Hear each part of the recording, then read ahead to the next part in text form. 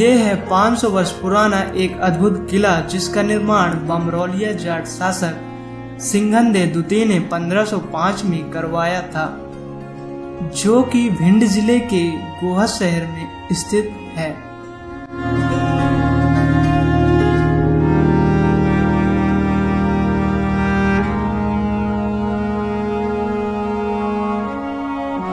अगर बात करें इसके इतिहास की तो भीम सिंह राणा सबसे प्रसिद्ध शासक थे।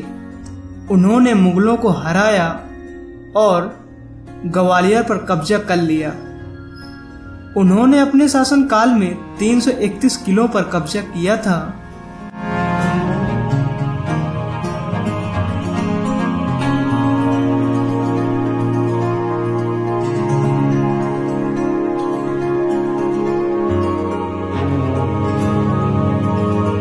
सिंघनदे द्वितीय सबसे पहले हुआ कीरत सिंह, अंतिम राजा थे।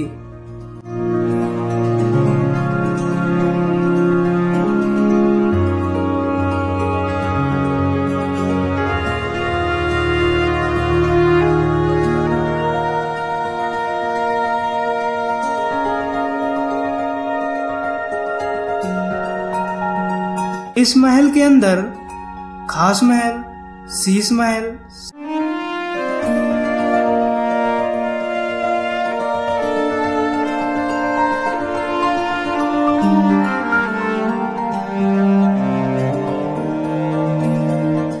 रानी हवा